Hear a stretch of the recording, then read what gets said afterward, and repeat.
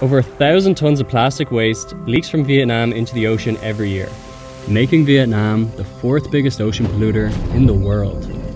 So we've come down to Con Dao Island, 180 kilometers off the coast of Vietnam, to visit Trash 2 Art and join their beach clean to see how they upcycle ocean trash and turn it into backpacks.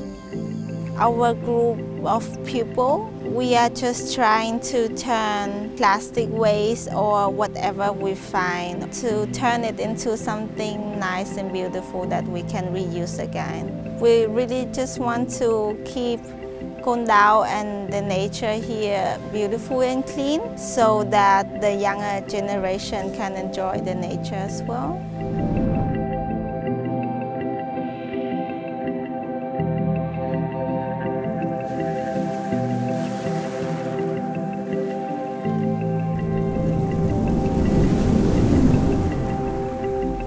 We're here on a very tiny island off the coast of Con Dao Island. Right now we're helping out on a beach clean, cycled two bikes down from Saigon, so it's been really great to be able to get around the island emission free and help out here collecting some plastic.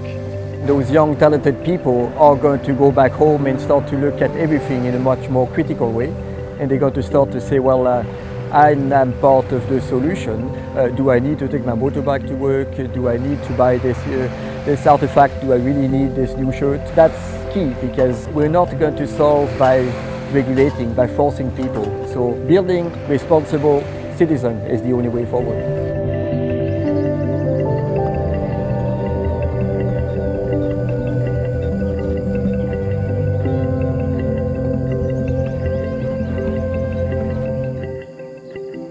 Building responsible citizens is the only way forward.